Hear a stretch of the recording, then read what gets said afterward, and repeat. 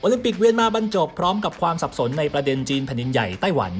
แม้ไม่ใช่เรื่องใหม่ แต่ใช่ว่าใครจะทำความเข้าใจได้ง่าย ๆ ว่าสองพี่น้องร่วมสายเลือดเขามีสัมพันธ์กันแบบไหน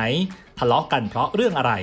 แล้วทำไมในเวทีมหกรรมกีฬานานาชาติอย่างโอลิมปิกเอเชียนเกมเราจึงไม่เห็นคำว่าไต้หวัน เจอแต่ไชนีสไทเป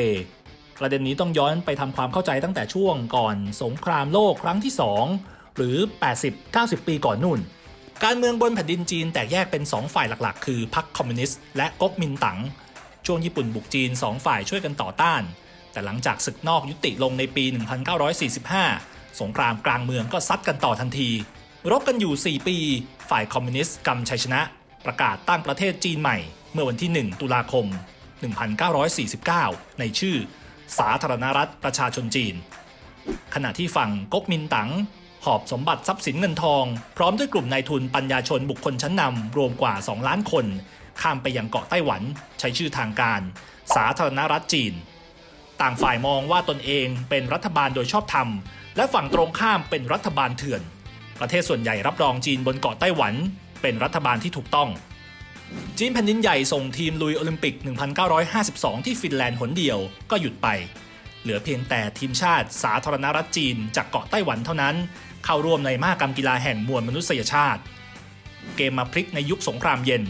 อเมริกาต้องการจับมือกับจีนแผ่นดินใหญ่ เพื่อคานอำนาจกับโซเวียต นั่นเป็นที่มาของการทูตปิงปองในปี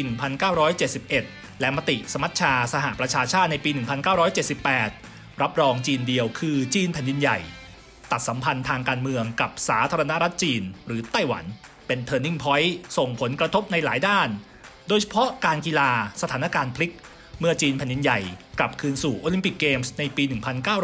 1984 จีนไต้หวันจึงถูกสั่งห้ามใช้ธงสาธารณรัฐจีนผืนนี้ และห้ามร้องเพลงชาติ พร้อมกับเปลี่ยนชื่อทีมเป็น Chinese Taipei ที่แปลว่า จีนไทเป หรือไทเปของจีน ถ้าไม่ปฏิบัติตามนี้นักกีฬาก็หมดสิทธิ์เข้าร่วม ความกล้ำกลืนฝืนทนจึงเกิดแก่นักกีฬาไต้หวันในทุกมหากรรม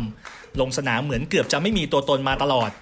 ชาวตะวันตกส่วนใหญ่เข้าใจได้ว่า Chinese Taipei มีฐานะเหมือนจีนฮ่องกงและจีนมาเก๊าแต่ทางไต้หวันไม่ได้คิดเช่นนั้นเลย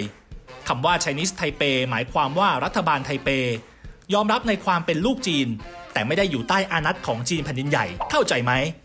มาถึงโอลิมปิก 2020 ประเด็นนี้ดูจะถูกปลุกขึ้นมาขยี้ได้ชัดเจนยิ่งขึ้น เมื่อนักกีฬาไชนีสไทเปกวาดเหรียญได้เป็นกอบเป็นกำความน้อยใจที่ถูกห้ามบรรเลงเพลงชาติของนักยกน้ำหนักไต้หวัน ถูกนำเสนอผ่านช่องทางต่างๆ โดยเฉพาะสื่อสังคมออนไลน์ ให้ชาวโลกได้ถกเถียงกันรอบใหม่ ทั้งที่จริง ๆ มันก็เป็นแบบนี้มาหลายสิบปีแล้ว นักวิชาการหลายรายยังออกมารับลูก บอกว่าไชนีสไทเปมันทำให้โลกสับสน เพราะนักกีฬาหลายคนไม่ได้มาจากไทเปเท่านั้น แต่มาจากเมืองต่างๆ ทั่วเกาะไต้หวัน จึงอยากจะเรียกร้องให้โอลิมปิกสากลหรือ IOC พิจารณาให้ใช้ชื่อไต้หวัน มันจะเป็นอะไรไป ผู้นำสูงสุดอย่างไช่อิงเหวินเปิดเกมรุกบน Facebook อย่างหนัก พิมพ์เชียร์และแสดงความยินดีกับนักกีฬาที่ได้เหรียญทุกคน ใช้คำว่าไต้หวันล้วนๆ ไม่มีคำว่า Chinese Taipei โผล่มาเลยแม้แต่น้อย สะใจกว่านั้นคือในการแข่งขันหลายชนิดกีฬา นักกีฬาไต้หวันดันชนะคู่แข่งจากฝั่งแผ่นดินใหญ่ซะด้วย เรื่องนี้ทางจีนใหญ่แก้เก้อด้วยการบอกว่า น่าภูมิใจที่คนจีนเป็นแชมป์และรองแชมป์ส่วนทีมงานของไช่อิงเหวินมองคนละมุมโดยสิ้นเชิง ระบุว่าชัยชนะของนักกีฬาจากไต้หวัน ช่วยประกาศให้ชาวโลกได้เห็นอัตลักษณ์ของความเป็นชาติ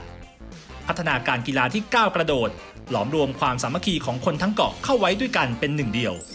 แต่ก็อีกนั่นแหละ ทั้งหมดเป็นการสื่อสารบนเพจส่วนตัวสำนักข่าวในไต้หวัน และสื่อตะวันตกบางส่วน พอย้อนกลับไปดูข้อมูลจากทาง IOC ยังเจอแต่คำว่า Chinese Taipei อยู่ดี คลิปนี้ดูแล้วชอบ ชมแล้วใช่ ทีมงานขอกำลังใจกดไลค์ กดแชร์ กด subscribe Awake Media ของเราด้วยนะครับ และพบกันตอนต่อไป